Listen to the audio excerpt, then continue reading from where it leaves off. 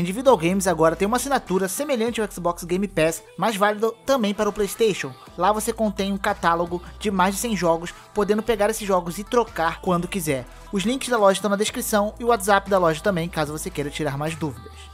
Fala aí pessoal, beleza? Eu sou o Radzik, estou com mais um vídeo. Eu trazendo para vocês um vídeo nesse formato um pouco mais descontraído aqui. É um formato que eu consigo fazer e é um pouco mais rápido para mim.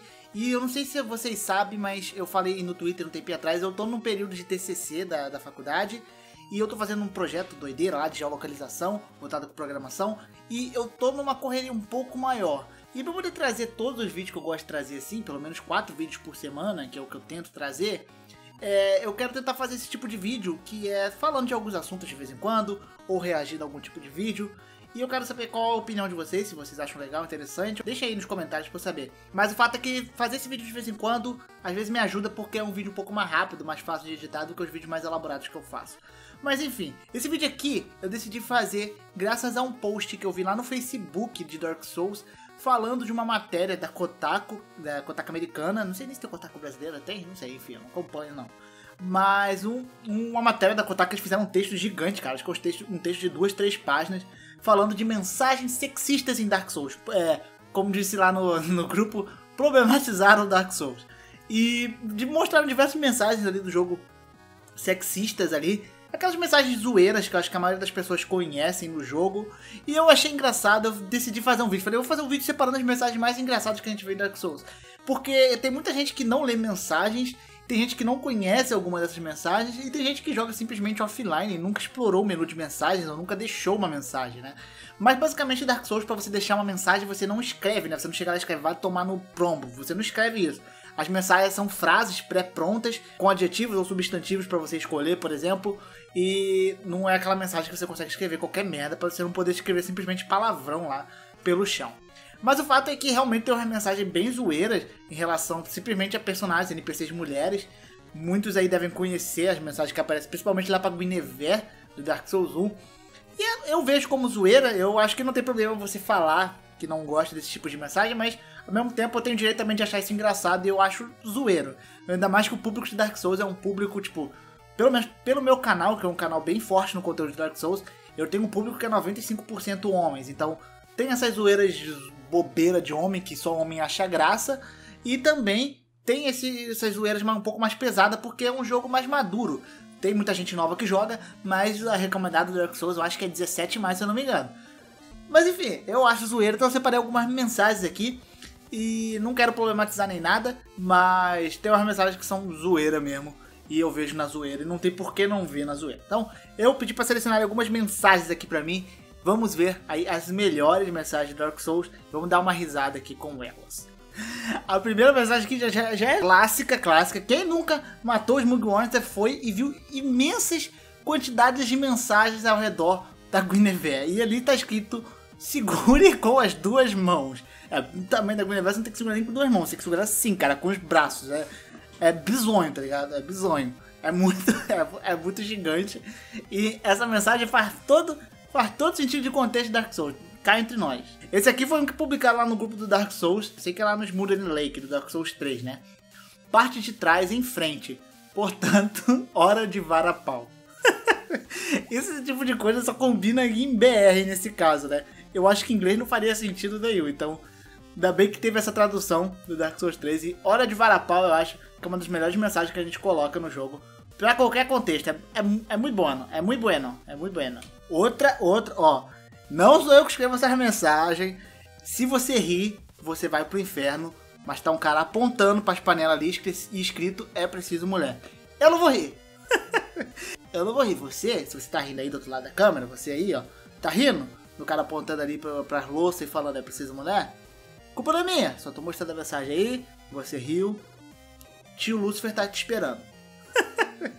ah, essa mensagem aí é clássica de Dark Souls, né? uh, try jumping, que é tipo, você tá num lugar que é, tá escrito ali, tente pular. Aí você acha que vai ter alguma coisa ali embaixo que realmente dá para você cair, dá até o fantasminha. até o fantasminha do cara ali no fundo pulando e morrendo, né? Óbvio que você vai morrer porque a maioria dos try jump, 98% são trolls que você provavelmente vai cair e vai se ferrar muito. Cuidado com o gás venenoso. E temos simplesmente um daqueles anjos lá de, de London, de 4. Você deu pra entender a mensagem, acho que eu não preciso explicar, né? Cuidado com o gás venenoso, é. Bizarro. Cuidado com a cabeça, isso aqui me lembrou muito meu trabalho, cara. Meu trabalho tem uma escada dessa daí, e inclusive na parte de cima mostra a altura, né? Pra você não bater a cabeça, tipo, tem um, um tipo, pintado de vermelho, 1,60m e pouco. Pra você abaixar e não bater a cabeça. Igualzinho isso aqui, cuidado com a cabeça.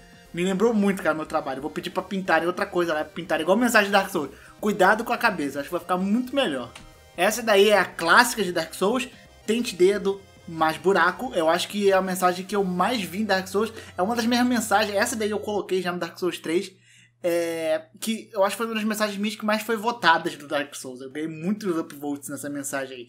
Tente dedo mais buraco. É clássica e sempre que tem um cadáver numa posição no mínimo estranha, alguém vai escrever essa mensagem. Pode contar que vai ter essa mensagem.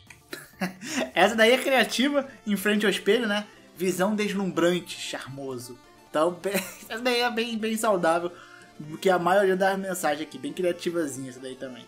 Eu não lembrava de ter visto essa mensagem no Dark Souls 2, não. Outra mensagem aí ao redor da Guinevere mais, acho que é a mensagem mais clássica de todas, a Missing Chest Ahead, que chest em inglês pode significar, eu acho que também significa baú e significa torso, né, peitoral. Então, peitoral incrível à frente.